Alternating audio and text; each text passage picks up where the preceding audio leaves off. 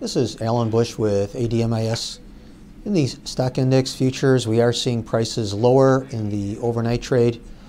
Most of this weakness linked to heightened tensions along the Ukraine border. However, we have seen some recovery, at least a partial recovery, with better than expected economic reports. For example, we did have the GDP in the second quarter coming in up 4.2%. That compares to the guess of up 3.9%. Uh, also, we did see pending home sales uh, coming in better than expected, so that causing stock index futures to bounce off of the lows. One thing to keep in mind, since this bull market started in March of 2009, the geopolitical events that came along the way basically only temporarily got in the way of the bull market for stock index futures. And I think that will be the case again this time. So even though we are seeing uh, some fears due to uh, geopolitical events, this will only get in the way temporarily. The bull market is still intact. I think we will see some new historical highs in some of the indices within the next uh, two to three weeks. Longer term, there appears to be a lot left to the upside in stock index futures. Over in the currencies, flight to quality buying helping the dollar index to advance. Seeing some pressure in the euro currency. This after Germany's employment numbers coming in a bit weaker than expected.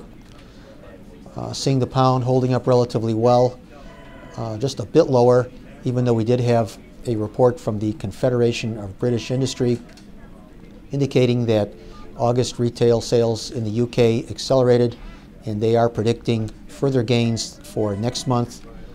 The yen a little bit higher in a flight to quality bid in light of uh, the geopolitical situations.